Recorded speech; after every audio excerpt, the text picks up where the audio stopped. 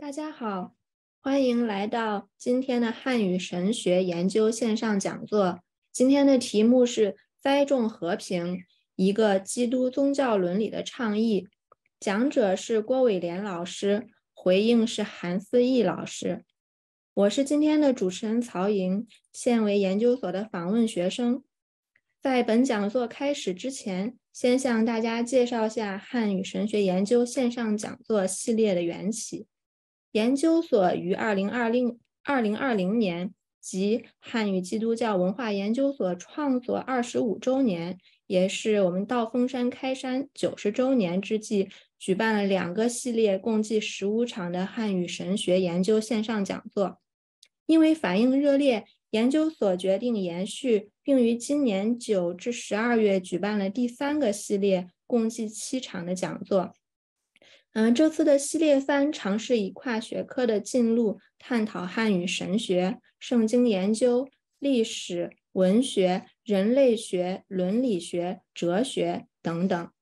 今天的讲座大家报名非常踊跃，实际的报名人数已经有三百多人。除了两岸三地的学友外，还有来自其他十三个不同国家的学人与我们共聚一堂。首先，我要介绍一下今天的嗯讲者是我们的郭伟莲老师。郭老师是香港浸会大学宗教及哲学系的副教授兼系主任，他在伦敦大学国王学院取得哲学博士。嗯，郭老师的呃研究方向集中在中国基督宗教。基督教教义学、公共神学、神学诠释学。嗯，郭老师的进驻有，嗯，英文呢有《Narrative and the Triune Reality Examining Examining Robert W. Jason's Doctrine of the Trinity with Reference to Abraham Junger》，是二零二二年出版的。嗯，二零一八年他还在德汇文化。出版的一本书叫做《情欲线》，副标题是《神学文化与伦理析论》。嗯，还有二零二一年， 他帮道风的《基督教文化评论》第五十五期做主题策划，这期的题目是“疫病与信仰：汉语神学的角度”。然后我要介绍一下今天的回应者是我们的韩思义老师。韩老师是在香港浸会大学宗教及哲学系取得哲学博士，现在就职于中央民族大学哲学与宗教学学院宗教研究院。嗯，韩老师为三级教授、博士生导师，他的研究方向主要集中在中国基督教思想史、基督教与中国文化的对话，还有宗教伦理学。老师的著作有二零一三年中国社会科学出版的《从罪过之辩到克罪改过之道》，副标题是以七克与人谱为中心；还有二零一六年宗教文化出版的《信德与德性》，副标题是耶儒德性伦理的汇通与转化。韩老师还主持完成国家社科基金项目的。一般项目一项，题目为《基督教德性伦理的中国叙事》。好，那我向大家介绍一下今天的嗯讲座流程。我们的讲座嗯约有一个小时的主讲，然后会有十分钟的回应，呃韩老师的回应，在之后会有二十到三十分钟由大家的嗯问答的环节。呃，我们现在大家在听讲座的。嗯，中间就可以在问答区域以文字向主持提问。嗯，这样子，呃，到之后呢，呃，问答环节的时候，我会有我主持人会把大家的问题读出来，然后请呃两位老师作答。好，这样子，我们现在就可以把呃时间交给今天的讲员郭老师，请郭老师，你可以分享你的屏幕了。好，谢谢主席。嗯，因为我的普通话实在太烂了，所以我就呃直接的将我的呃发言的呃讲稿啊，就是分享出来，然后我就呃去宣读我的讲稿啊。我想这样子会对就是各位呃参与的呃就是啊学者跟呃同学啊，可能比较呃容易去啊看到就是我的文章的这个思路啊。我今天要分享的一个呃题目是在重和平一个。基督宗教伦理的倡议啊，其实我这个研究呃是从啊现在比较呃具这个正理性的刘晓峰开始啊，我在这篇文章里面我会。从刘晓峰的呃《百年共和之意》里面啊，他对中国近八年的呃政治探索所形现的问题的讨论啊，提出汉语神学其实必须建构一个和平的神学啊。然后我会首先分享，嗯，就是呃分析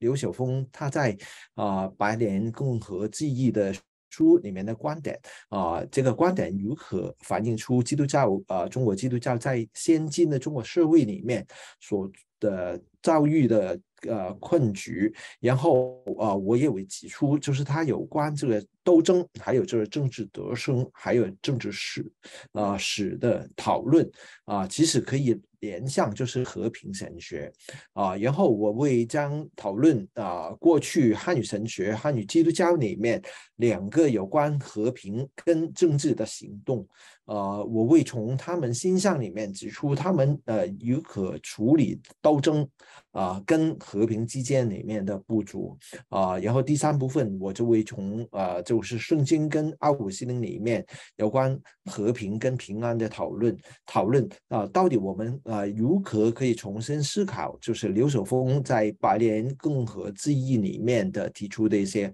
看法。最后，我会呃呃将呃就是在这种和平里面，可能是背后的审核以以前啊啊给实践，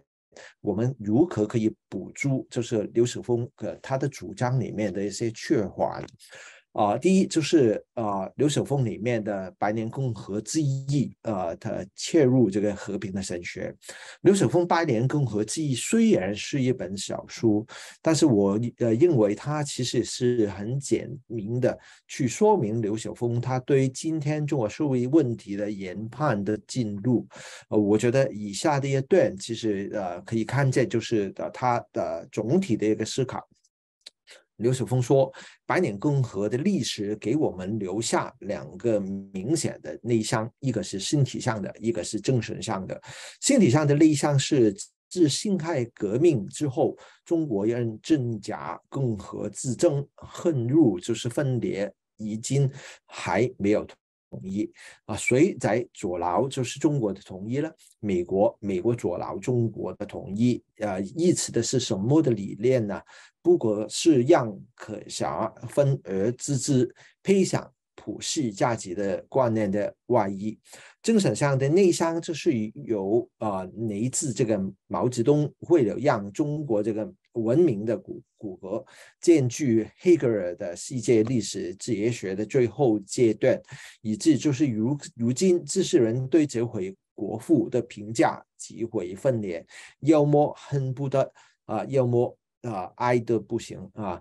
文革的精神无遗产就是激进的启蒙观念，导致中国人。的精神内战，啊，我觉得就是在这段里面，你我们可以看见，就是刘子峰认为中国社会当今的问题，一个是政治层面的，呃，内乱外患。二十中国人的精神的内战。啊，刘守峰在这里将两样的问题都诉诸，就是外来的力量啊，就是政治的脆弱啊，其分裂是因为美国，然后精神的内战是因为启蒙观念。啊，刘守峰他很多时候也称他为就是启蒙教化啊，我觉得我们绝不应单纯的认为就是刘晓峰的说法，整呃仅仅是一种盲目的仇外的程序啊。我觉得对他而言，其实他是将整个的问题与历史哲学啊连起，然后啊，所以我们与其说他是仇外，倒不如说他是将整个的世界呃现代世界，包括就是西方跟中国放在一个宏大的历史哲学里面讨论。而对他来说，其实美国对中国的阻挠与对抗，其实是西方历史哲学跟中国历史哲学哲学冲突的塑形。啊啊，譬如说，就在节段里面，他说：“我们早就知道马克思的哲学就是斗争的哲学。”啊，包科克德的世界史课程就让我们知道，西方人从自己所理解的古代世界的历史看到。西方的生活就是斗争。美国虽然是生意的国家，他们的政治正印并没有忘记，他也绝不会忘记这个收视底德全受的经济经验，跟鲍克赫德的群群教诲。啊，既然如此啊，我们就不应该自欺欺人的相信，就是有自己古代历史经验的西方人会相信中国人自古以以来主张的以和回归。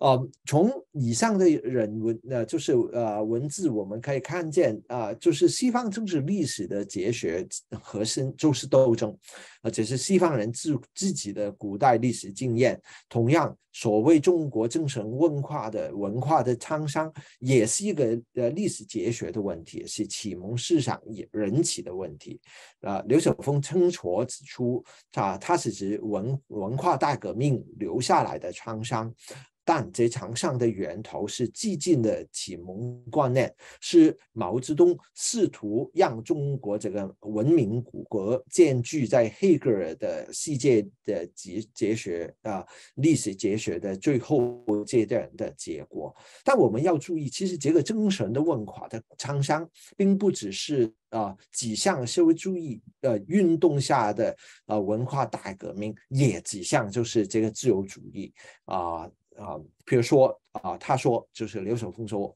啊，从文革中过来的人一一定熟悉这类的于是，如今如今只要把毛泽东思想换成为自由主义普世价值论，一个知识分子就可以当呃，就与与当今的自由主义红卫兵那样战斗。首先，凭就是民主科学的发权，抄掉自古相传的文明价值，然后就是把。古代圣人啊，圣贤的拉出来带告告嘛反啊反简上背的有些批斗啊，最后就再用具有发权的啊有人权发起把圣贤的那门打倒在地啊。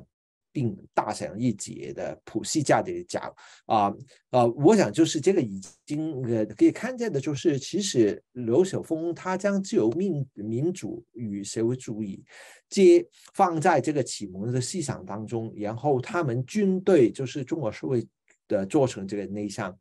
然后刘晓峰关心的就是现代呃中国的困境与命运。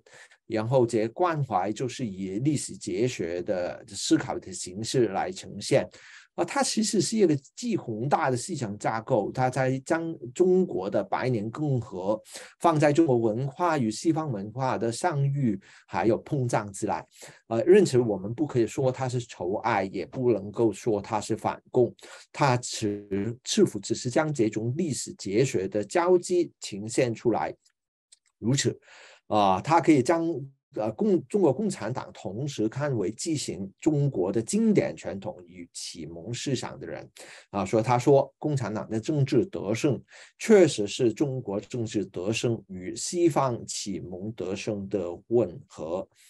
啊，更重要的是，其实这种冲撞不单止于中国与西方，而是人与的人人类的群体的生命的现实。老舍峰是认为，人类的精神依群群体而分，不同群体精神之间的关系就是对抗冲突。不过，我们不要无故为就是刘守峰是祈求融合，或是。尚物的解决，他借用这个释德鲁斯的思想来指出，就是融合和华就是不予理睬，都未归于失败。他认为，就是然而市场正是在这种对抗和冲突中得到发展的。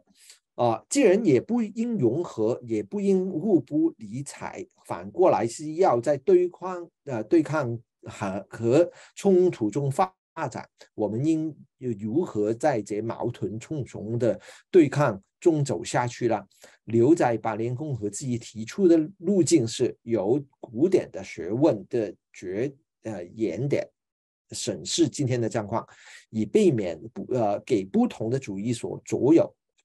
可以影响啊，所以他说没错，我有兴趣尝试的是从古典的学问的着眼点来看毛泽东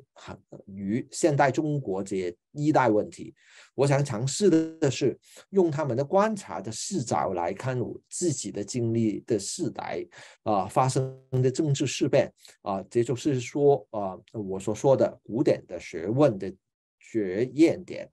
其实我们知道，就是晚清的学人意识到，中国如今面临的是三千来未有之变局。在我看来，这场变局的实际含义关键在于两点：一点就是中国的政治传统的面临呃面面呃面临前所未有的啊挑战；二，中国面临就是从未面对过的啊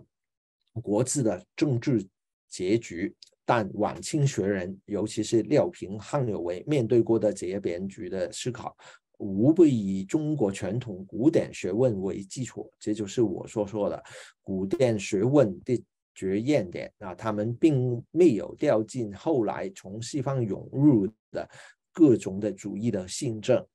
所以刘不丹其实将的中国的。古典学问放进思考，其实他主也更主张的就是要查考西方的古典的学问。所以他说：“我耿耿知道，如果不从柏拉图的王字开始的斥责西方的启蒙的观念的是非对错，就没有可能正确的认识百年共和的历史含义。”同意也没有指望，就是置入我们精神的内向。说古典的思想的重要性在于它能精确地的、更好地的历史的这个是就是这个历史的畅说他自己说，就是不应该忘记伤痕，但要精确的看待自己心上的伤痕。做这点的的确不容易。我自己长期是这个伤痕的主义者，西方和中国的古典思想才让我更好地理解个人乃至国家心上的历史的畅想。所以，关切古典的思想能。更好的理解历史的沧桑，重点是刘能将中国现代社会的种种矛盾的现象并存，并由此展开，就是展现，就是呃这个困局的真相。啊，刘晓峰对于毛泽东的评价，政治是仅仅现的这种就古典学问的呃最原点的展现的能力。例如，他说。吴杰东曾经以古典的方式再次表达自己的政治意志，属风流人物，顽抗金交。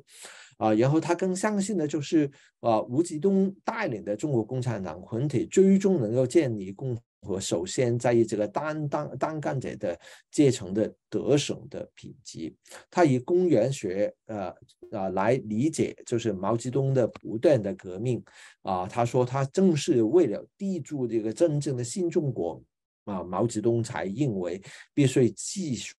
的革命，以实现的彻底的新，用儒家的公园派的说法，就是当新皇，但。毛泽东也同时是一个福音，就是激进启蒙运动观念的人，是他发动的这个文化大大革命，让中国这个文明的骨骨骨骼建具黑黑格尔的世界历史哲学的最后阶段。对刘晓峰来说，其实现在中国的困难，就是因为我们受了启蒙的思想，令中国及西方传统的政治德胜被顿挫。无论是拥护自由民主的人，又或是毛泽东，都犯上这个错误。他贼把的指出，启蒙化育的人民主群是有自信确信的，而自由不胜的并非一种得胜啊。因此，的人民主权不能够呃真正的的带带出真正的自由民主，而是啊啊人民专专制。反过来就是儒家的德生的呃传统，在民主理念里面啊，要找到这个栖身之所，呃，感简直就是缘无凑鱼啊。他说，人民呃就是人民的主权论，也可以叫做就是人民的专制论。按照就是启蒙的俗语。人们的专意志就是呃，意味着就是反啊反过来的反君主的专制，人民主权也必须以专制的方式反君主的专制。不仅人民的制宪的权啊，并受法律的任何的形式化形序的呃区区，为了呃确保就是革命的成果。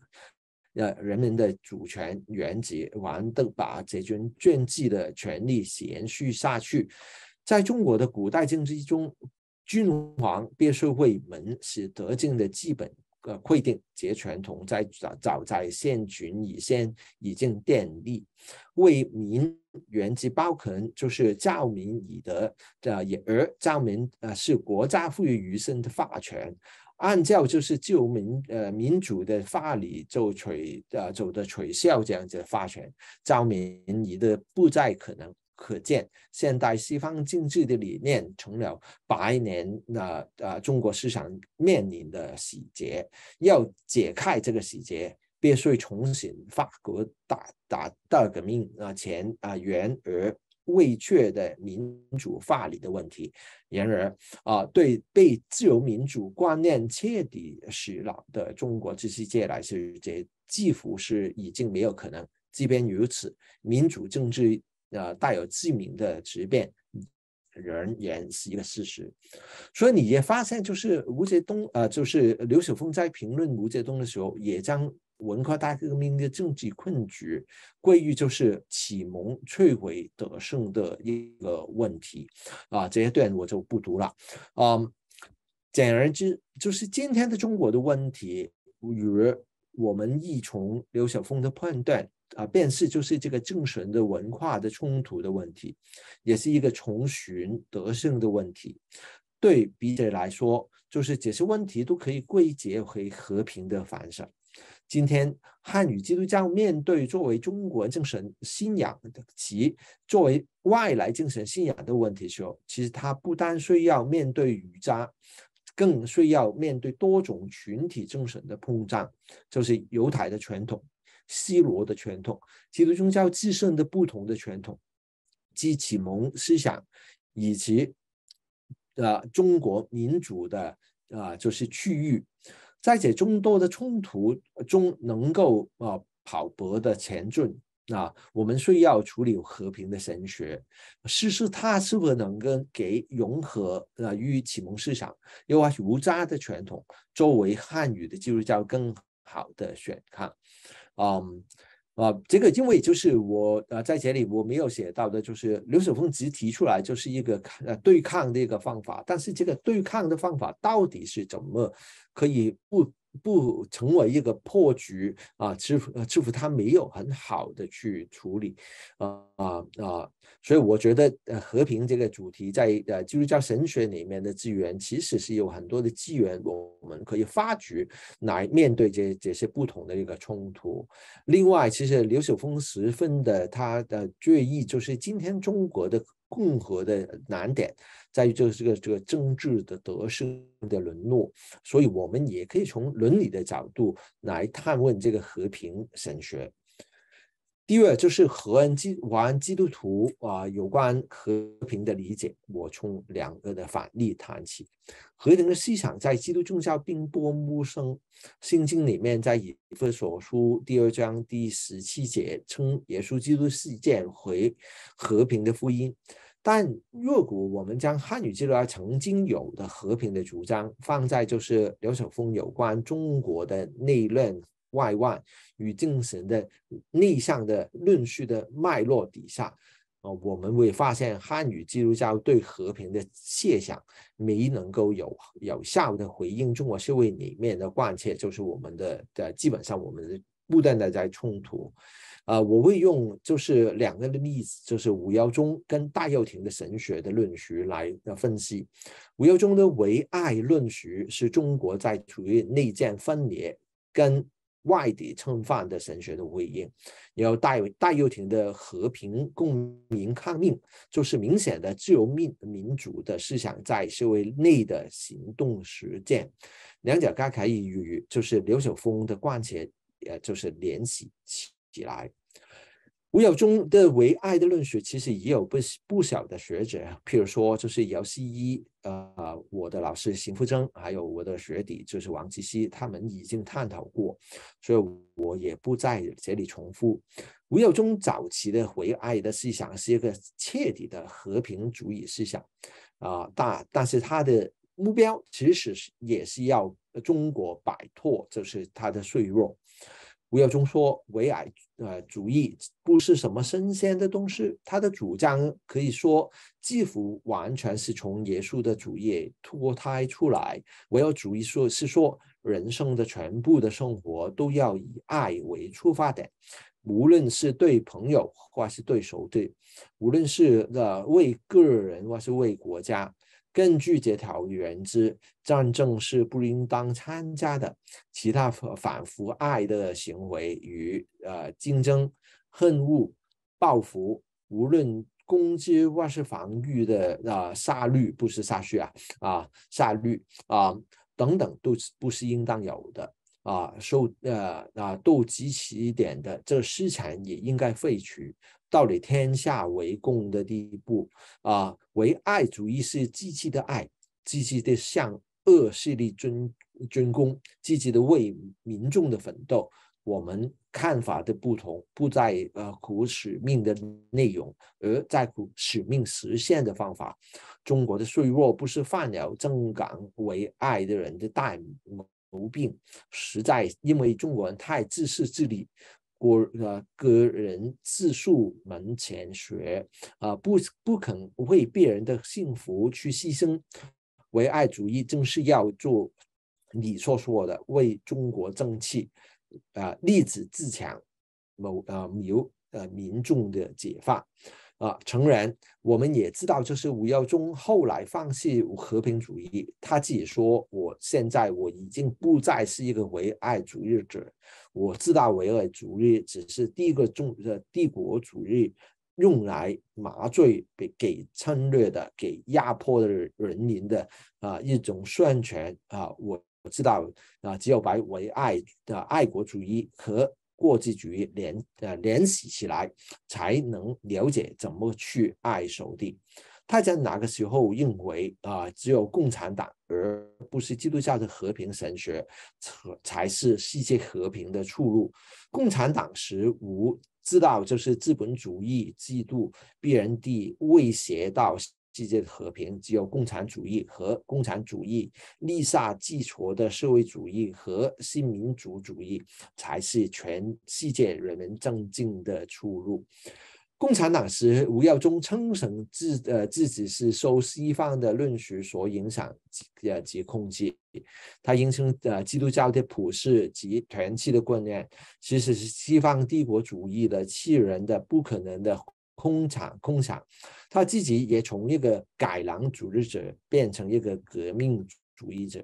明显地，啊，那个基于西方自由主义，相信人人可以运用自身意识意志象限的基督教和平论述，彻底的失败了。取消吴耀宗导向社会主义的和平革命。其实，刘守峰对百年共和的讨论显示，这转向并没成功。中国社会。包括中国基督徒仍是在内向的困顿之中。若呃吴耀宗是西方自由主义式的基督教和平思想转向社会主义的和平，那么戴耀廷并呃便是呃仍是不借不够的自由主义者。吴耀宗放弃基督教和世的和平思想，以成全社会主义革命的胜胜利。戴耀廷。是到现在仍是愿意刻下他自己的虎呃虎背的顺道士。他在二零一八年在法庭的审呃审讯中，为自己的案子如此的卓结。他说：“若我们正是有罪，那么我们的罪名就是在香港这赣南的实践里面，勇敢去散播希望。呃，夜入我不惧怕，我也不羞愧啊。热解苦悲不是不能够拿开我为毛愧地的引和引下。”戴耀廷将他的公民抗命啊冠以为爱与和平，但从他的陈词中看到。爱与和平其实是对抗的方法与心法，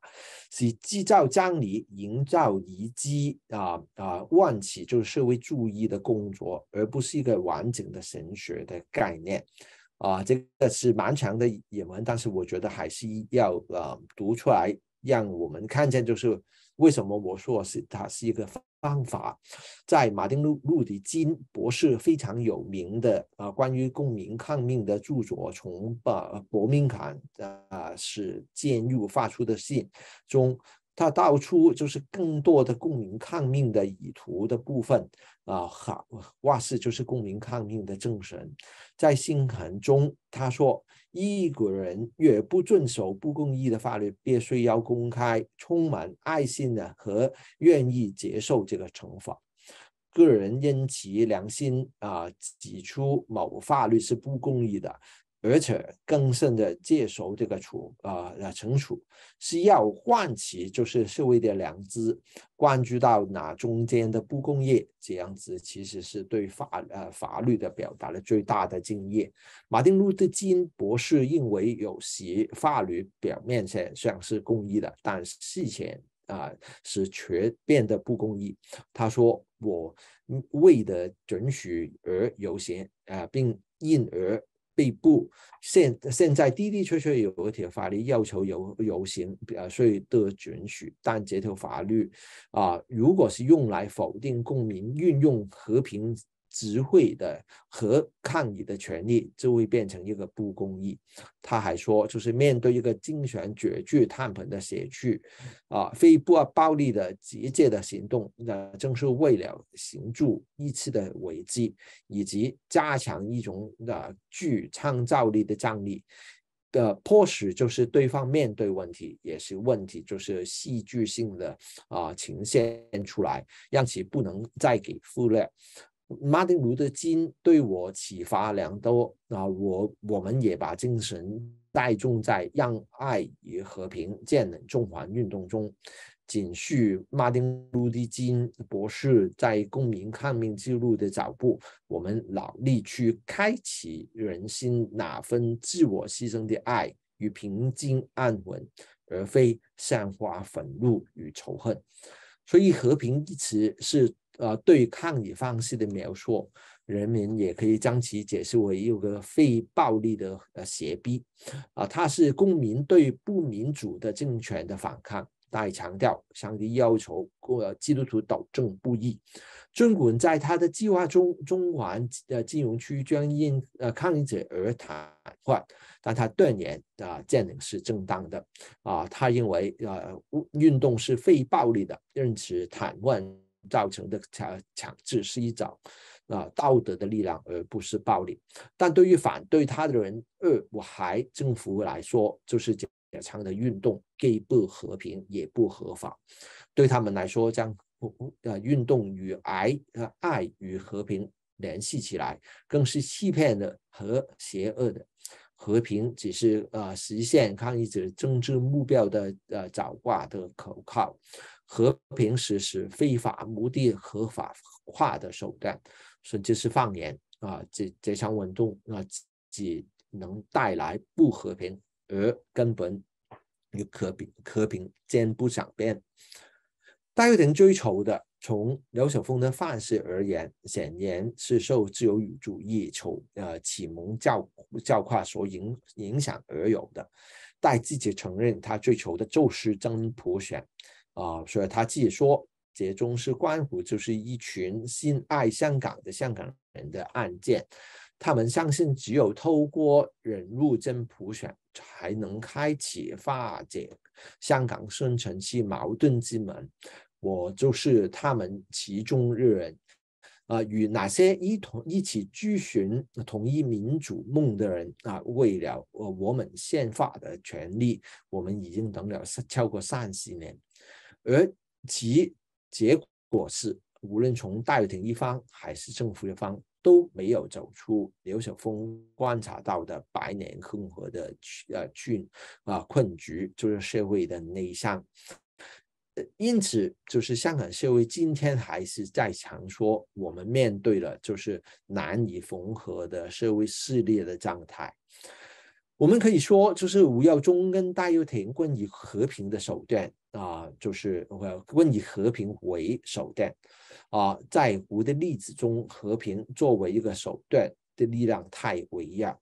呃，没有办法去纠正，就是见证的错误。在戴的案例里面，和平这个给指作为就是掩饰政治阴谋的一种手段。和平的意义十分呃狭窄啊，仅仅指非暴力的抗议。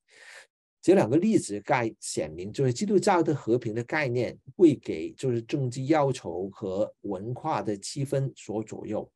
世俗的政治的愿景取代基督教的愿景来诠释基督教的和平，在当代中国的背景下，这个变异成情况就更为复杂。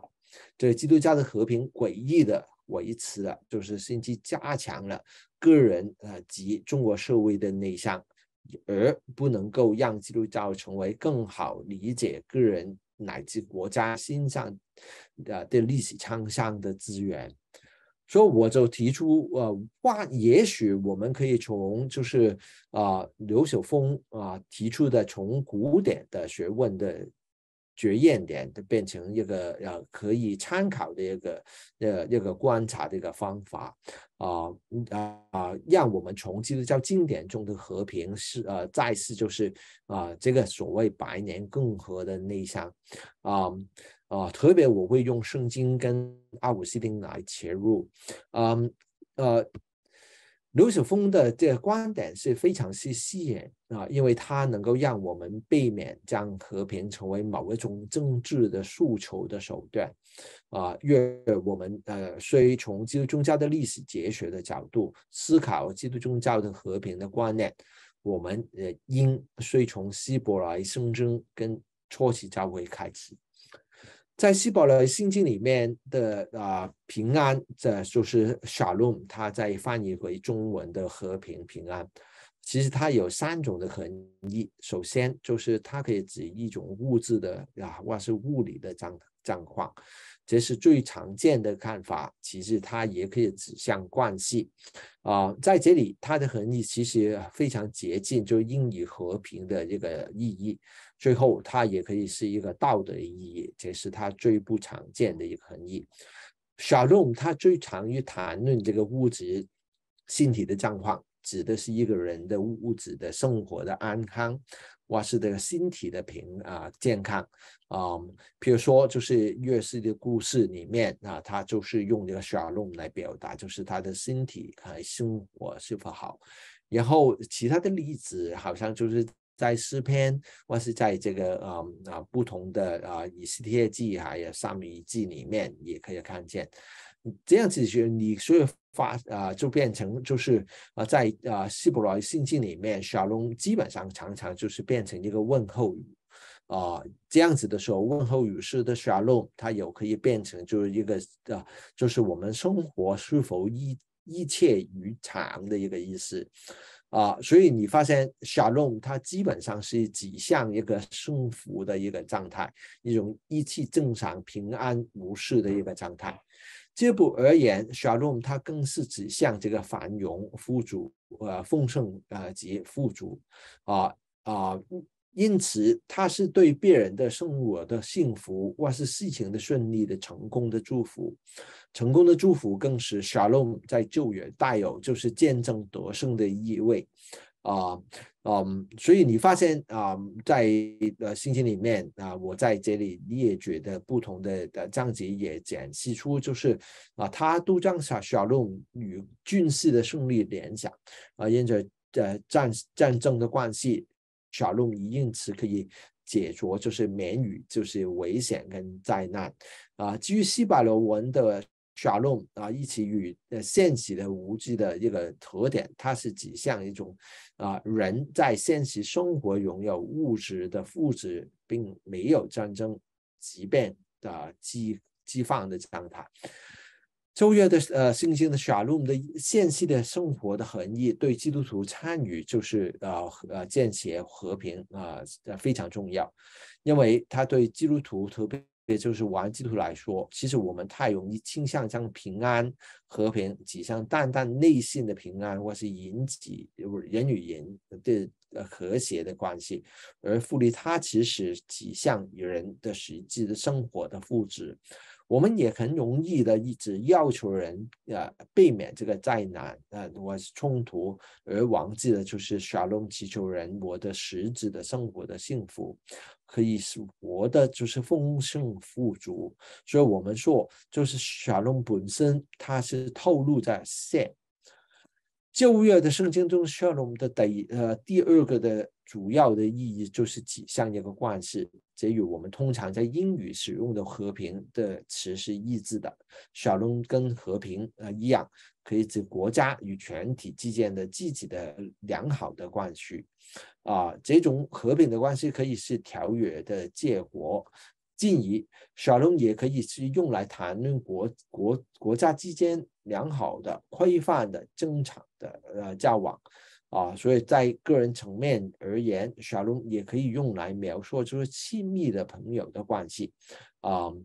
啊，消极的说，就是小论可以用来就是表示就是政治的战啊战争的反反义词，以及就是疾病的跟贫穷的对立面。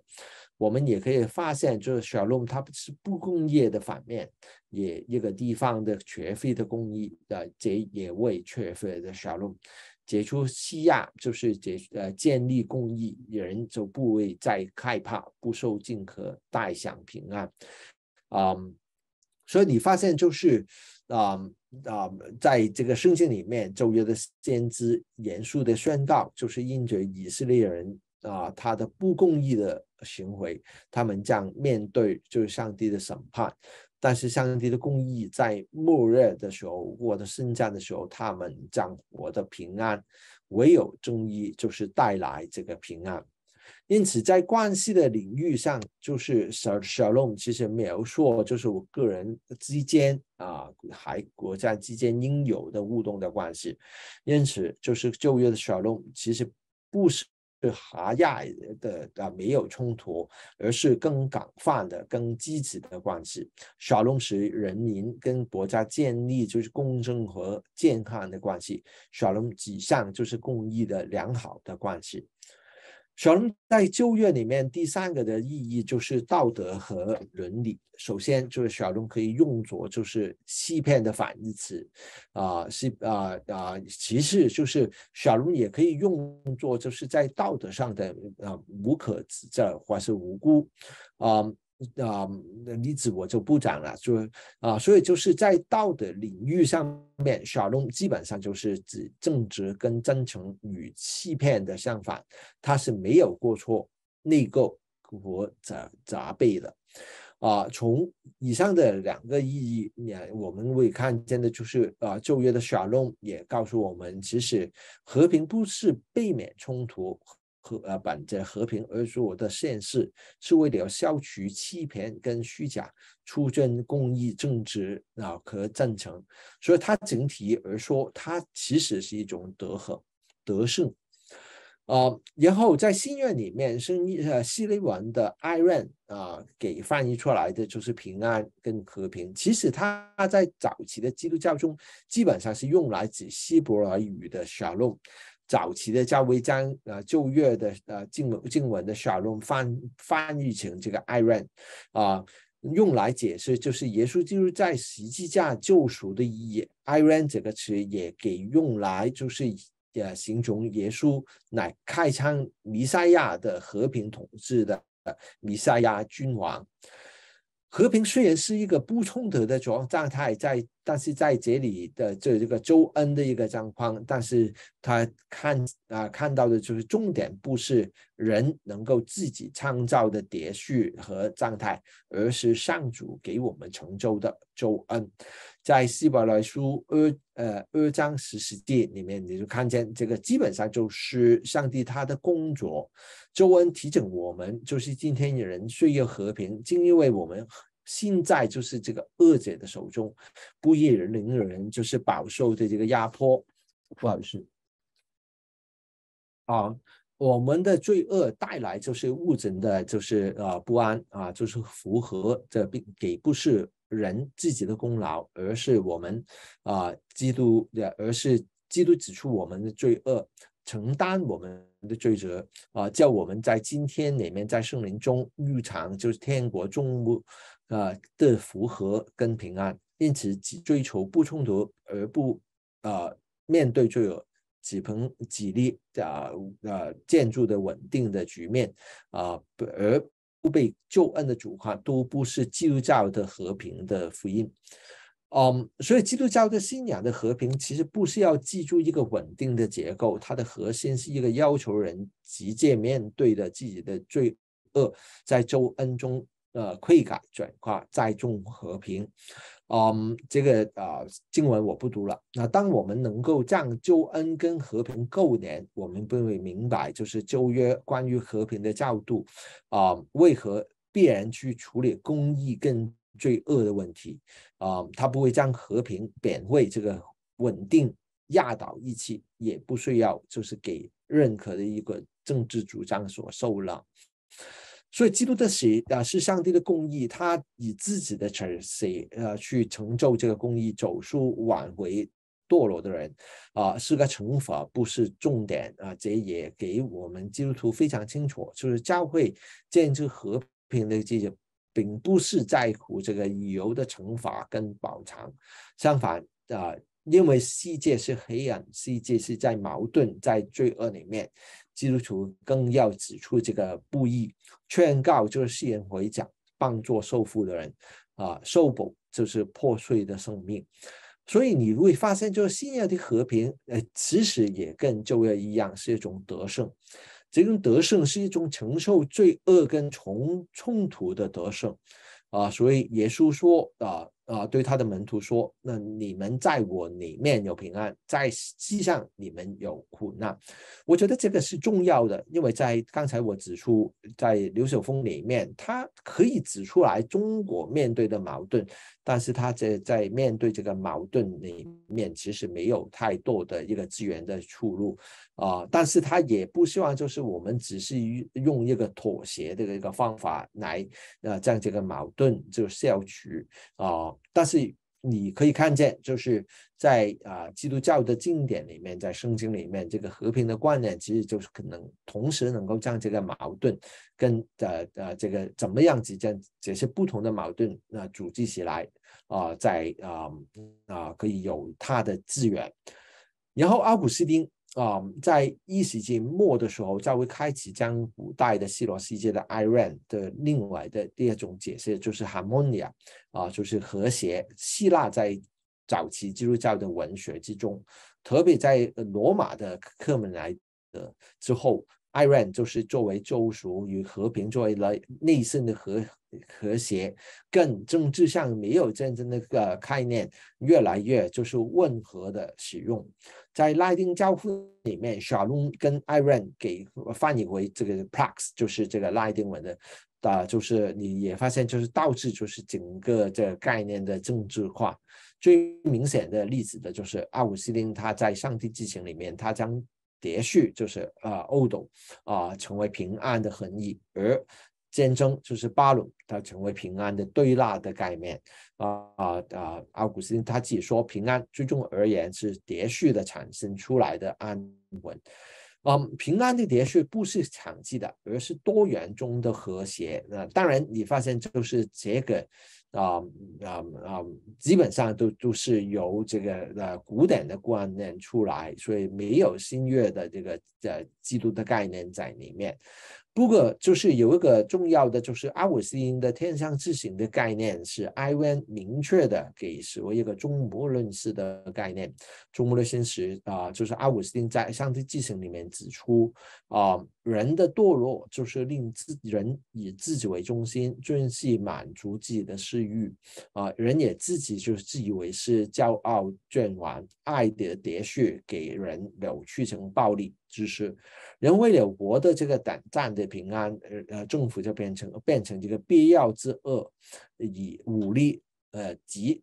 强技来维持这个秩序，呃，但是人也认识给奴役了，但是政府的强强记力基本本质上都是有这他自己的邪恶性了啊。以下的这个引文我就不读了。更有意思的是，就是阿古斯丁对这个权力的迷失背后啊，他认为就是背后其实也是对和平的渴望啊。他说，就是显而而见。和平是战争的最丑的目目标，所有人呃呃也是用战争来寻求这个和平，没有人是制造和平来寻求战争。呃，认识的知识就是哪些活在这自己生活在刻意扰乱和平的人，其实不会很护和平，他们只是将呃和平改造成更合适他们的要求。奥古斯丁也指出，就是人以己力制作自己版本的和平，最深处就是呃呃败坏的啊，就是自为神，呃以击倒的自我的方式来实现的自己的想法，但也因为这个自我中心的取替取态，啊最终的引来就是自我毁灭的啊，这就是一个审判啊啊，虽然我们啊在堕落的世界里面没没有办法去避免。就是强权跟暴力，但是人的强权永远带不来真实的和平，强权也不不会是生生命的实际。中中部链式的和平，令我们可以将和平看为人生的证实，也可以发现强权跟和平不是两种的手段，只支持暴力对反对暴力的生活。其实和平是一种实权，是个变 existent，而不是一个手段。对基督教会而言，和平不是一种手段，而是指福福音批判的人的诠释，其其扭曲的和了的和平，也透过就是爱神爱人，就是虚起先批承受苦难的生活，检视另外一种生活的可能性。阿古斯丁从来不是一个和平主义者，他认识暴力在其实的事实，但他他提醒基督徒必须警惕他们不属。此事，这更不应受制于此事的意识形态。基督徒是天上之民进行的子民，我我们应该呃呃成为劝人悔呃悔改的呃宣道者，并与苦难的人同行的朝圣者。我们更可以说，如果就是刘守峰要有一种古典学问的眼呃眼光来看，就是更好的理解个人乃至。国家身上的历史的强项，而不陷入就是启蒙思想的苟结当中。圣经的奥古斯丁的和平的思考，应该是会是一个值得我们参考的入册点。在这个记录里面，你发现和平是一种得胜、一个实权的思考，一个愿意承受苦难的与冲突的基督的信仰的生命的特者，他应该有足够的承载力，那面对我们种种历史的沧桑。第四，就是和平神学对刘晓峰关于香港汉语神学的历史应哲学任务的提议，在本文啊，笔者基本上是完全采立采纳，就是刘晓峰百年共和的困局的分析，如此。笔笔者的集中讨论和和平神学如何能够较好的处理就是这个启蒙思想的论断与以及就是民主场上的问题。圣经给啊，跟阿古斯丁的和平神学应可以造出一套就是汉语神学的自身的生权释义，从历史机制能够呃确切的回应汉语语境的挑战啊，而避免我们陷入就是代理式的系呃系统市场的牢笼啊，这个我不呃也们我跳过了。然而如何从这个生存的示意的呃转化为一种能够容纳不同矛盾的存在的体现的和论述。刘晓峰似乎没有诸呃不能够有足够的资源。之外，我们相信就是史德鲁斯、施米提还啊，就是入格能能够提提供资源，但这有会不会令我们容易陷入另外一种形态的大理石的论说而不自知啦？啊，不胜就是呃，致力推动建系和平运动的啊，美国的圣母院大学的荣荣休教授就是莱德奈克，在他的著作里面啊。就是《Journey to Reconciliation》指出，真正的和平其实是如诗篇八十五篇第四第四节的的提醒，就是慈爱跟行实的的呃相遇，公益跟平安彼此相称。真实的和平其实有四个元素啊，它慈爱、公益、正向、和平。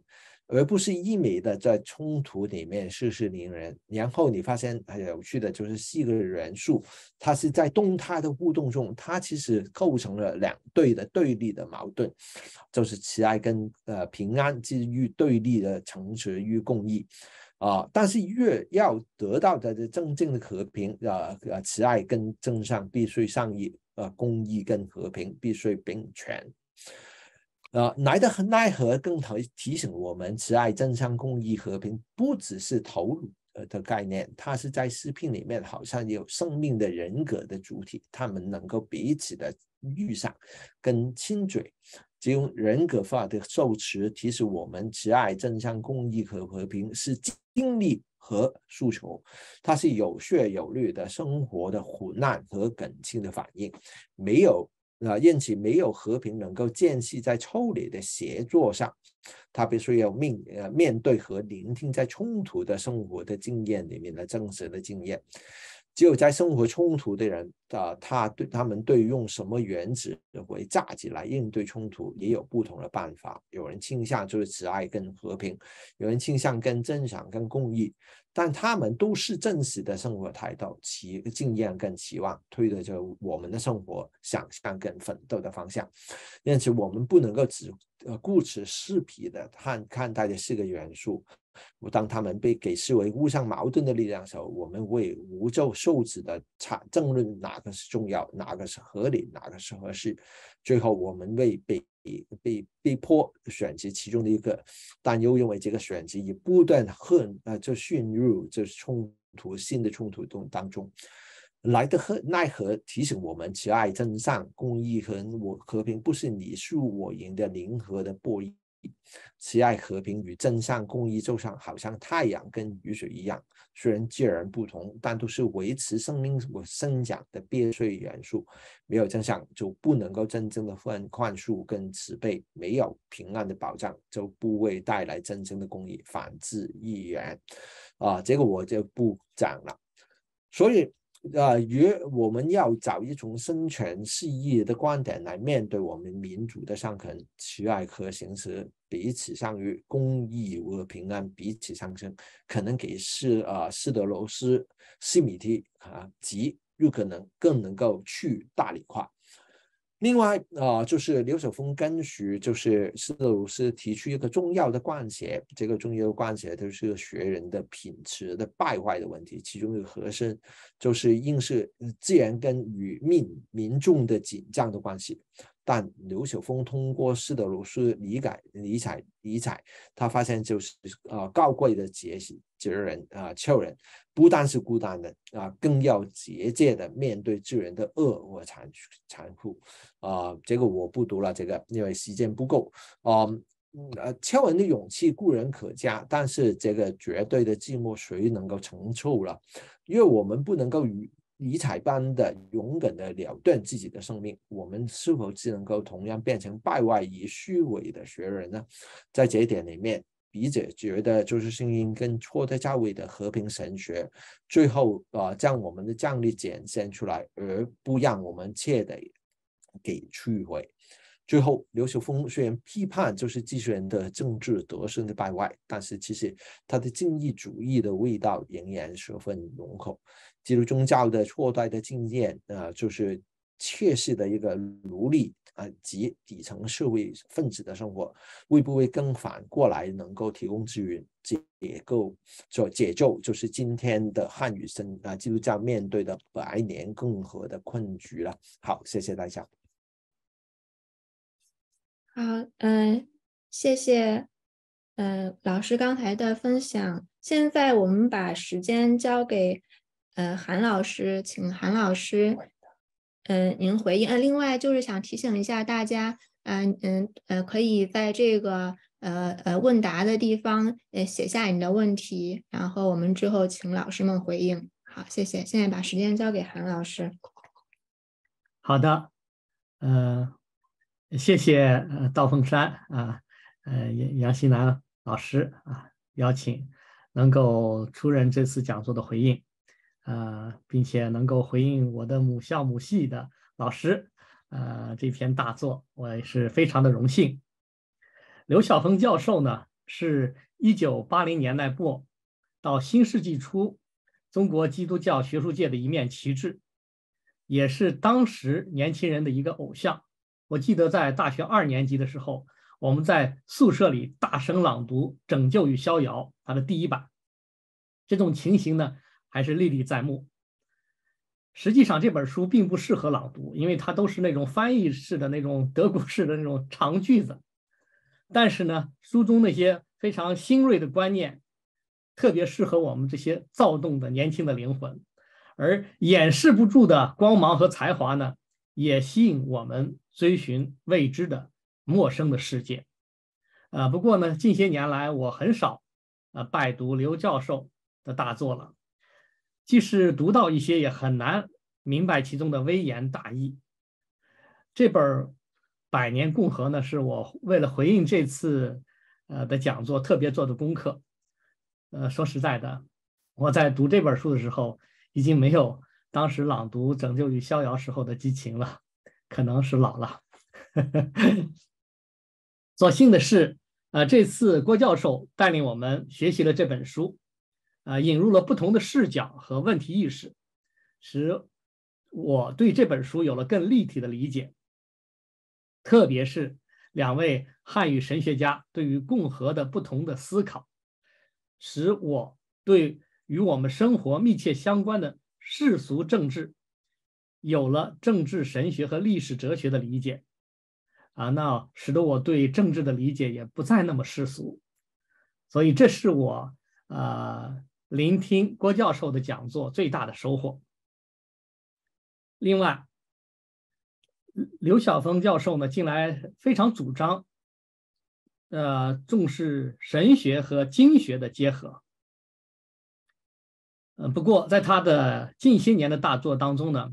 神学可能隐含在其。引经据典的字里行间了吧？经学也不是他的长项，无论是中国古代的经典还是基督教的经典，似乎也不多见。好在郭教授在这篇文章当中给了我们不少的补充，特别是将圣经当中关于和平的内涵，呃，做了详细的考察，引用了奥古斯丁的观点，啊，加深了我对和平的理解。这个呢，正好与我们古代经典当中《论语》当中所说的“礼之用，和为美；先王之道，呃，礼之用，和为贵；先王之道，斯为美。大小大由之，有所不行，知和而和，不以礼节之，亦不可行也。”这个呢，正好可以相互对比理解。啊，就是和平呢，并不是一团和气，而是要坚持公义或者礼仪制度，要有所坚持，有所抗争。这一点呢，我非常同意。在我的理解当中呢，历史和政治不只存在于经典和神学之中，啊，更是呃我们的时空当中、生活当中所显现出来的。在我的理解里边呢。啊，那么古典的时代如果不经过中世纪，是无法进入到启蒙时代、现代和后现代的。我觉得，如果没有中世纪的信仰、寻求理解的精神，启蒙呢，就不免带有精英主义的话语霸权。信仰寻求理解的上下文脉络呢，是对话，有人神之间的对话，也有人与人之间的对话，特别是与不同的文化、不同的信仰啊之间的这种对话。事实上呢，在现代的社会当中呢，一切的信仰都需要经过理性的批判，一切的信仰呢，也都失去了绝对的权威啊。这个不仅是我们所说的宗教的信仰，呃，也有这个我们现在流行的各种观念，甚至意识形态，所以这些都需要在平等的对话当中被理解、被接纳。真正的信仰实际上是无法灌输的，神学也不可能通过文化的植入而被建立。所以，呃，这个我就想起一年多。一年前去世的当代的德国的神学家汉斯昆，他也是我们汉语神学界的老朋友。嗯，他在生前呢就一直主张，就是没有宗教间的和平，就没有国与国间的和平；没有宗教间的对话，就没有宗教间的和平。他就强调宗教对话对于这种世间的。和平，无论是国国度之间的，还是政治之间的，还是文化之间的，它的这种重要性。所以，宗教的呃这个对话精神对于和平来说呢是非常重要的。那么，我觉得除了圣经传统、奥古斯丁传统、安瑟伦，还有托马斯阿奎那的信仰寻求理解的。中世纪的这种传统呢，我认为在基督教神学在栽种和平这个议题之之中呢，也应该有所贡献啊。那么信仰在我看来不是古典的东西，而是现代的啊，它是一个嗯历久弥新的啊，可以说是。那么信仰呢，也不是神学，而是。生命的体验和生活的实践，虽然这种东西呢，并不保证信仰或者生命经验就都是对的。啊，关于这一点呢，我就想起，呃，当时刘晓峰的《拯救与逍遥》第一版，这是当时真正吸引我们的地方。虽然很多年过后，再从学术的思想的啊各样的这种呃角度去啊，在读这本书的时候，发现。啊，里边也有很多我未必现在还能认同的地方，但是啊，这个就是生活的一部分。啊，那么引用啊狮子山山下的这个这句呃歌词来说呢，人生总有欢喜，也难免有泪；人生不免期许，也难以绝无挂虑。历史就是充满对和错，政治更是一只肮脏的手，所以。和平的达成，既需要救赎，也需要德性，啊，这个是我觉得我们走过一段历程之后呢，啊，深深感受感受到的这个东西。最后呢，我向呃郭教授提一个问题，就是在百年共和啊，百十年共和，百年飞机运动之际，在。栽种和平方面，除了吴耀宗和戴耀廷之外，中国的基督教历史当中还有哪些不同的叙事？汉语神学呢？是否还有别的出路可以给出一些贡献？那么第二个问题呢是，当代的基督教和平主义神学的代表，比方说优达大师啊啊，比方说侯活士。啊，这些呢，在香港的神学界、教会界也都有多有云朵。请问，这对于汉语神学栽种和平的努力做过哪些贡献呢？就是这，这个是我向您请教的。还有就是，对于香港社会的创伤是否有所帮助呢？啊，谢谢，啊，谢谢主持人，我的呃回应完了。嗯。好的，呃，谢谢韩老师的回应。我们现在把屏幕继续呃交还给郭老师，郭老师，请您回应。谢谢韩老师啊，谢谢你啊，非常精彩的一个回应，还有就是那个呃非常好的一个提问啊。我想说是就是从呃你的呃两个提问的第一个就是从这个历史，特别就是飞机运动，还有我们呃华的历史里面啊去看啊那啊构就是究竟我们有没有这一些的和平的一个。呃，一个努力去做去做，我的感觉就是你，嗯，如果你从历史里里面去看的时候，特别就是飞机运动的时候，嗯，啊，很可惜的时候，就是呃，我们的的确确又不是就是。是将啊这个啊跟嗯嗯那就是不是基督教的一个思考里面，又不是我们好像是一个一个一个对变的一个一个啊状况啊，又不是就是我们呃争取呃就是跟随啊他们的一个观念，呃反过来就是我呃在最近的时候，我的学生在研究嗯嗯嗯就是在民国里面的基督徒的小说的一个。嗯啊啊呃的研究，嗯，反过来就发现，就是基督徒的那些小说家，在他们的这个啊理想的世界里面，反过来就将哪些啊在呃飞机运动里面提出的哪些大问题。啊，呃，变成一个啊，呃，在个人的层面里面，在群体的生活的层面里面，怎么卷化的一个一个理想的生活的状态。所以我很同意你说的，就是。和平跟冲突其实不是一个概念的问题，而是一个生活的问题，啊啊啊，跟我们信仰一样，不是一个不是一个历史哲学的问题，而是一个生活的问题，啊，但是我觉得就是这个是非常有趣，我也开眼界，啊，就是啊啊，不是。呃，理论家他他可以提出什么解决这个方法？反过来就是，啊，文学家他们在他们的构想里面，他们讲出来就是一个另外一个生生活的一个一个一个途径啊啊！我觉得这个是一个蛮有意思的一个啊一个一个发现啊啊！另外的就是我想在呃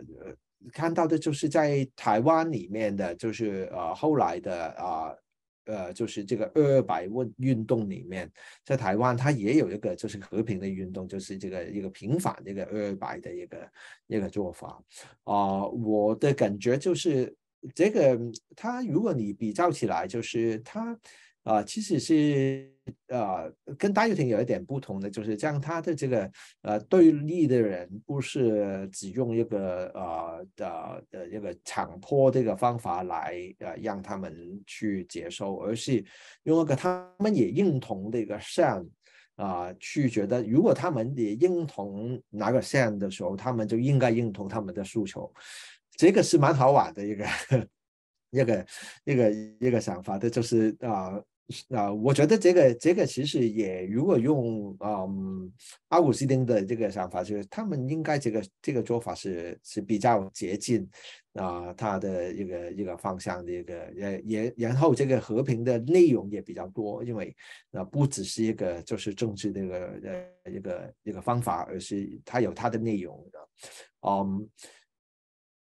我第一个问题，我我我想就这样子答，就是第二个问题就是优的跟 Harvard 的问题啊啊，在香港的的确确就是在我们过去几年的时候，其实我们有很多跟优的跟 Harvard 的一个讨论，啊啊，但是我自己的的分析，我发现我们最后的基本上啊，其实我我认同你说就是。啊，刘晓峰在这个现在的呃，他他不再是名声了，他也这日落西山的，就是基本上他是在这这应该是一个啊啊啊啊，不是一个在他的好像呃呃过去几十年的一个状况，但是我觉得他还是。啊，呃，可以讲到的就是，啊，学姐在啊，我们面对我们的处境，跟我们整个就是神学的传统里面，我们很容易的就是给取景。就是拉走，或是我们完全的去认同我们某一个神学的出呃的传统，没有办法去好好去思考。呃，在香港的啊讨论，其实如果你呃在香港的呃参与者，他也可可能呃观察到的，就基本上就是就是这样子了。就是哈我其实更优的应该是对这个和平的一个神学，我们可以有很多的一个思考，但是在哪个时间里面，就只是成为呃呃大游艇的反对面，呃，就跟他基本上就是好像大游艇他主张的时候，就是用的跟哈我就变成是另外一个反对的一个状况。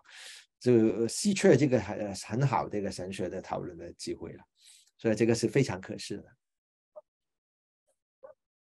嗯，谢谢呃老师的回应。嗯，现在呢，因为我们现在有很多问题，呃，我们我们会选择一些可能不是所有问题都会哎都有时间回答。那么我们现在哎第一个问题，呃，我们这个问题两位老师都可以回应啊。嗯，他这个问题是。英文的，我就用中文表达出来。嗯，他是说这位同学，呃，这位学者，他说学人，他说，呃，和刘晓峰相比，呃，那么刘晓波他的生命和作品会不会提供了另外的，呃，一种，呃，关在现代和当代中国的和解的资源，是一种，呃，更加，呃呃。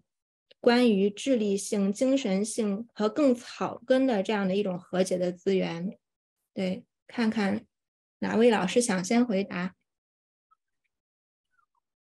嗯，我想我我我先回答吧，就是可能，然后就是西一老师看看我呃我自己觉得，我首先我我我要再讲的就是刘晓峰，我觉得他啊，百年共和可能呃有很多人看。看完以后，呃呃，有有很多的这个感觉啊，但是我觉得我为什么选他，就是就是哪种感觉？我觉得我们现在在研究就是共中国的共神学，就是就是要将哪个很很奇怪的一个气氛，很奇怪的一个状况，很奇怪的一个处境里面去去显明出来。然后其实我觉得啊，刘晓峰他非常区。区别，但是其实你也是在我的文章里面，你看见，其实他就是要让这个很奇怪的状况里面，呃呃呃，就是点出来，但是他其实没有什么，他是没有什么的出路，出路，我的感觉他没有找到出路，啊，但是他只是要点出来，就是他在这里，呃呃呃呃，看见有很多的这个困难，但是他也不希望让这个矛盾来啊，就消灭，啊。呃，然后呃，刘晓波，呃呃，刘晓波，我觉得他是一个在思想里面是非常勇敢、非常伟大的一个人，啊，他的思想非常勇敢，就是啊，呃。但是当然，如果你放在就是刘晓峰他的看法的时候，其实刘晓波就完全的给就是这个自由主义去垄断了。就是如果啊用刘晓峰的的的讲法，然后也觉得就是刘晓波没有办法去呃面对这个这个已经有内向的一个一个一个中国社会里面的状况。嗯，我自己的感觉的就是他的。他的结局其实是告诉其其实他的的确确是，啊，在这个内上底下里面，他牺牲了自己啊。刘晓波最后的就是啊啊，所以啊，如果你问我的就是我我自己觉得他是一个他是一个非常伟大的人，但是我想在现在中国的处境里面，如果要了解他，要同情他，就就是。啊，或是要他带来这个呃，就是符合的时候，我觉得不容易，因为另外一边的人他他听不进这个，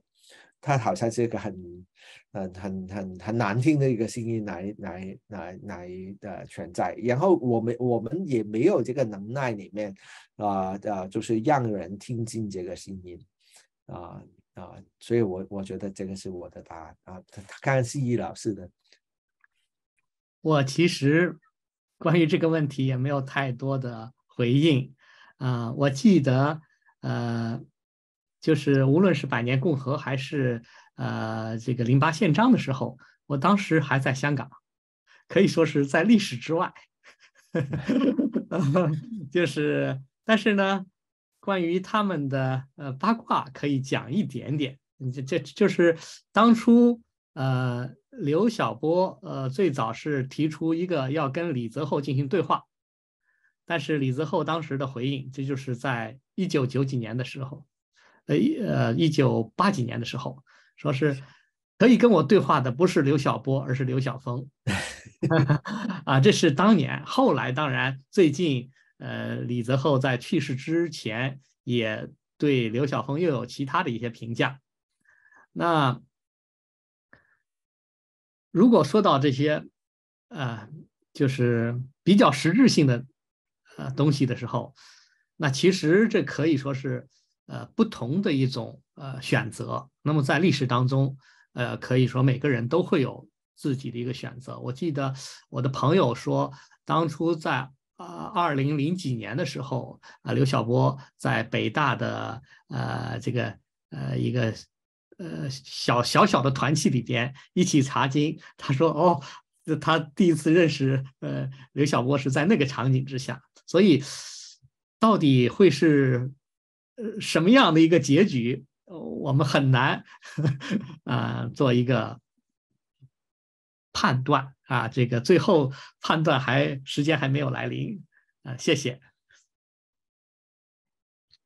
嗯。谢谢两位老师的回应。我现在我也想趁机会来问一个问题，我就没有打出来了。呃，其实我可能要是问两个问题。嗯，第一个问题是关于嗯郭老师的这个文章里边，就是您是先从旧约再到新约来讲这个关于呃这个沙龙的这个概念。然后您在旧约里边其实讲到这个沙龙有三点。嗯，包括有身体性的，呃，关系性的，最后的再到一个道德和伦理的，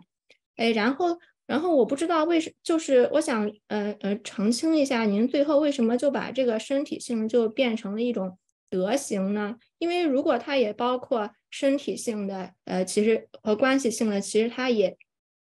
应该是一包括一个，呃，我们的，呃，更强调。嗯，无论是个人的呃身体的健康，还是整个国家的一个和平，对。然后这是第一个问题，就这个由这个问题呢，呃，再引申出的就是我在想，因为如果我们现在看旧约的话，是一个是有身体概念的和平概念，身体和关系的。那么这样其实可以补充我们对新约的这样的和平概念的理解，就是我们不只是一种只是非常属灵的，呃，非常缺少身体性建构的和平。那么如果这样看来的话，新约的和平，它作为一种终末的应许，赐给我们活在这个世界上的人的时候，它其实应该也是以一种，嗯。呃呃，具有身体性的关系性的这样的一个概念，其实我觉得您用，因为您用了奥古斯丁的这个上帝上帝之国，我觉得如果我从路德的这个两个国度的这个思想去看的话，那么我们必然是作为罪人和异人，你必然是活在这个世界上的。那么他这个和平，他也会以家庭、国家还有其他的经济的形式出现。这样子的话。就是您的和平的概念会不会有进一步的发展？嗯嗯，会不会不只是停留在人除了人格上相遇，它怎么落实到我们具体的生活场景中？如果讲，可能我这个就要延伸到第三个问题了，就是如果我这样理解这样的一个以旧约的人民的生活为背景的新约的和平应许的话，那么呃。戴耀廷或者其他人，他们的一种这样的一个，嗯，呃，爱与和平的行动。因为你也说过，他不是一个神学家，他们并没有用一个非常正确的神学概念。但是，我觉得他其实是不是正是在实践一种和平的生活，即使他没有一个正确的神学概念。我这样看待他的一些的他的行动的意义。好，这是我的问题。呃，都欢迎，也欢迎韩老师。对我做出回应，哇，非常多问题啊！我我想首先到最后就是戴耀廷这个问题。其实戴耀廷他在发动这个呃占领中环之前，他有一篇文章，他不是讲和平，而是讲这个啊在咒怨里面跟和平很相关的一个概念，就是公益的概念。啊，然后他就觉得，就是这个公益的概念是啊啊，要求他其实啊，他最后的时候也要求他这就就是有所行动的啊，我我的我的就是这个行动，就是他他将来的这个啊，就是这个公民抗命的一个一个行动了，啊，所以我我如果就是用他到底他的呃作为能够不能够最后带带到这个和平的时候，如果用圣经来说，公益它必必定是可以带来这个和平的。啊，这个所以在这方面里面，我们可以说就是，啊，他的想法，他呃希望呃追求公益啊，然后他希望这个公益能够啊，就是的搭成一个一个更好这个社会里面，啊，这个所以是当然是啊可以的。啊，但是如果你看他的文章里面，呃，其实他有一个大的一个一个一个啊，他他非常关注的就是，他只关注在这个啊啊，就是这个呃的的记录的问题，啊，特别就是在香港就是这个选举的这个记录的问题了，呃，这个权力的呃记录的问题，那我我觉得这个其实啊，就将他啊，就是。呃，联想就是你在提出第一个问题的，就是这个呃物质的这个星体的一个一个一个一个和平的一个一个重要性了。啊，我我我自己的想法是，戴廷不是没有自己的一个神学的思考，但是他在思考的时候，他就将这个星体的和平，在这个星体上的公益啊，到底应该怎么啊有一个状况的时候，他就下得太重在这个。要有一个所谓的公正的制度，才能够保障这个呃这个呃呃呃公益的生活，也要达至这个和平的一个节点下边。所以，如果你问我的时候，嗯，我为的就是他在对公益跟和平的思考，呃，就是比较窄，所以变成他他走的路就会是这样子走了。啊啊啊！如果他要去啊扩大，就就是我很同意你去讲的，就是如果你。注重这个身体生的时候，其实你也看见的就是呃和平必然为指向啊啊，就是呃我们呃的家庭，我们的呃群体的一一个一个一个状况啊，其实这个就是就业的一个状况，就是呃。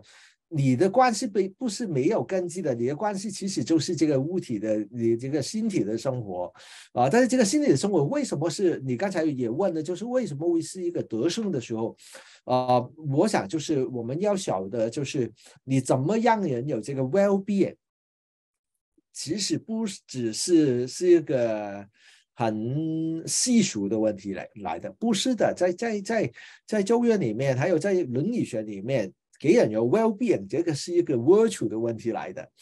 所以 well-being 其实不不需要不需要啊呃。呃，从基督徒的的的的想法，就是太这个太太世俗了，太弱体了，就是我觉得这个是很错的。这个反过来，我们是要我们是要啊，有有有有一个很大的一个想法，然后我们有这个就是呃就是这个这个呃就是呃心体的角度来讲这个和平的时候，其实你在才会想到的就是这个心愿里面这个终末论式的和平。为何不只是一个心灵的一个一个想法？呃，回到就是在在啊啊啊，在心愿里面，或是在奥古斯丁里面，其实他很清楚的讲到的就是啊，教会在在地上的呃的这个导师就是爱神爱人，让人啊在这个爱里面的生活能够检视，就是这个终末的一个平安。其实这个是有有一个非常公共神学的一个导向在里面的，但是我想华人教会里面，我们就常常没有去很好的去想到，啊，然后你用路德的的想法来就是对比，就是奥古斯丁，我觉得是绝对没有问题的，因为路德基本上就是一个奥古斯丁主义者，啊，我觉得这个这个是没有问题的。好，好，希望就是已经达达达到就是你问的问题，如果如果没有达到，你告诉我。好，谢谢你。谢谢谢谢老师，嗯，达到，我也非常赞同您对这个嗯身体性这个世界性的这个强调。哎，那么韩老师，您哎有没有要回应的？哦，关于这个问题，我实在是 了解的太少，也缺乏感同身受的理解，就是对于那段事情，所以抱歉 啊。好的。好的，那我们现在就诶来到，因为我们时间有限，我们也还可以问最后一个问题。呃，我把问题读出来。呃，在诶这个呃学人问他说，在香港的人物例子中，请问刘进图的信仰历程和德性态度，以致身体力行的分享，会否是一个更正面的比较，并且跟你解释？旧约和新约的和平神学定义更贴题，呃，甚至连上爱仇敌的实力。对，我想他的主要的意思就是要问刘刘进图的和是否是是一个比较诶正面的例子的。啊，我首先要澄清，其实对我来说，无忧中跟大佑廷也不是很负面的例子啊，不是这我我我觉得其实。其实现在是我们中国基督徒的困境啊，呃，怎么思考我们的处境，怎么思考我们的出路，其实谁也不容易啊。啊，就是我在最初的研究吴耀宗的时候，我对他非常负面，但是我呃在后来的研究多看他的呃，特别跟邢福生老师一起去啊研究吴耀宗的时候，我觉得他也是一个人物啊。啊，但是他有他的缺陷，这就是所以，然后啊，刚才问就是刘守波跟戴玉婷，我我觉得他也是一个人物啊，他们也是一个人物，所以不是，我觉得不是，他们不是我负面的这个这个这个例子，要所以我也也大不韪的找刘守峰来出来 作为，我也觉得陈旭他现在。他现在呃很多的舆论，但是我觉得他还是有一些东西我们可以学啊，就是啊也有一些东西要想啊，要多想，就是他怎么样啊。然后说刘建图，如果你在香港，其实你知道，就是我跟刘建图是有一块去做一些工作的啊，所以我想这个已经说明我们的关系了。所以好，好的，嗯，谢谢呃老师的。呃，回应。那么，哎，我们今天的这个，嗯，非常精彩，但是时间有限，呃，我们现在就要，哎，来到，哎，这次讲座的尾声了。嗯，下面呢，呃呃，我们，嗯，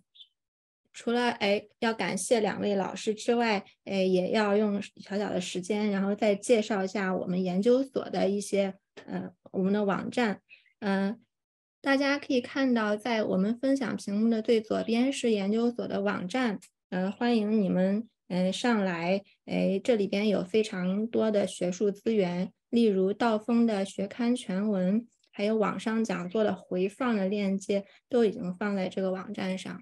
然后，哎，我们的，呃，呃，我们的还有，呃，第二个是我们的 Facebook，大家也可以扫码加一下我们的 Facebook，呃，还有 YouTube，呃，还有我们的。呃，YouTube 和微信的公众号，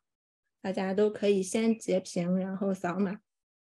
嗯，想介绍一下，在我们的微信的公众号上，嗯，你们可以获得呃本所相关的研究论文和学术消息。呃，在呃方便用 Facebook 的，也可以在这里面获得最新的活动、出版学术文章和资料。嗯，特别介绍一下我们的这个 YouTube，大家可以订阅。呃，因为上面会，我们会将之前的讲座都。嗯，讲座的回放都放在上面。嗯，我们今年这一系列的汉语神学研究线上讲座，还有一些，还有之前的特邀教授讲座和经典导读系列，都已经相继放上去了。今天的讲座之后两个月内也都会放在我们的 YouTube 上，欢迎大家嗯订阅。好，哎，那这样子，我们再次感谢。呃，两位老师今天精彩的分享回应，还有我们呃问答环节的精彩的回应，呃，也感谢各位呃学者学人今天的参与，我们期待下次和大家再见。好，谢谢。感谢感谢老师，感谢韩老师，感谢啊。好的，谢谢谢谢。再见。谢谢，拜拜。